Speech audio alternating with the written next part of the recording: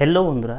এক্ষেত্রে দেওয়া আছে এইট্টি ওয়ানের পাওয়ারে থ্রি পয়েন্ট সিক্স এবং নাইন এর পাওয়ারে টু পয়েন্ট সেভেন এক্ষেত্রে আছে এইট্টি ওয়ান পাওয়ারে ফোর পয়েন্ট টু এবং থ্রি এর পাওয়ার কোনো কিছু নেই মানে ওয়ান আছে, ধরে নিতে পারি।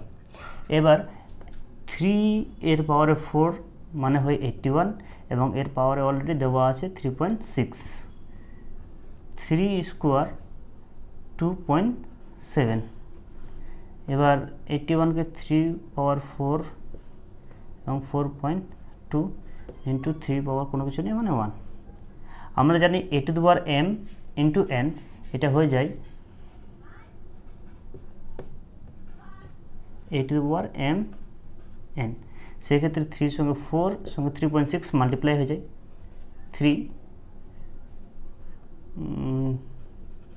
চোদ্দ পয়েন্ট চার ইন্টু থ্রি এটা হয়ে যাবে।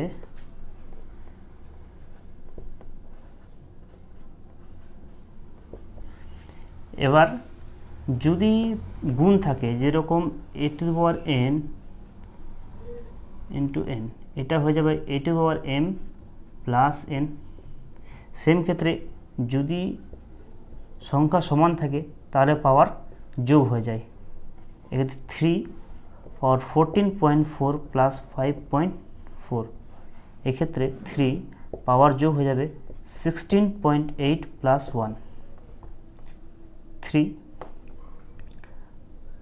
nineteen point eight by three seventeen point eight.